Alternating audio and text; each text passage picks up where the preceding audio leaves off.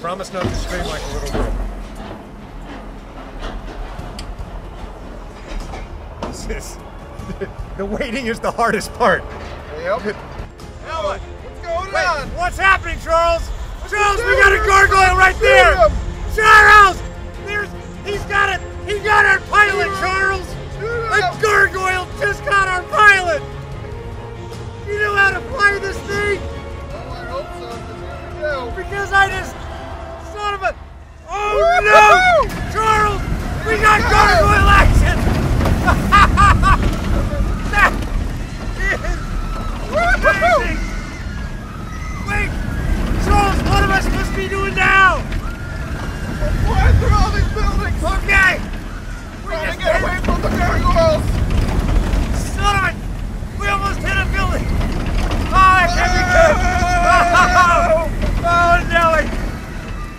Oh, sweet mother of Abraham Lincoln! The ship is going down!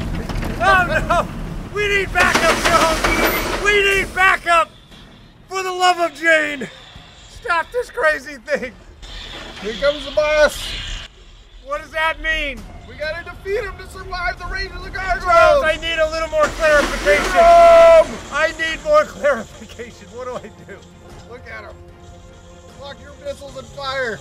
This is like the opposite of when you're not supposed to look at it. Don't fall this way. Fall back. Thank you. Finally, something about this day goes. We beat way. him. Well done, We defeated the gargoyles. Charles.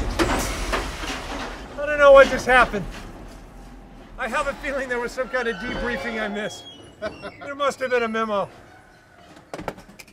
That was great. Are we home? We're home. Can I take this off?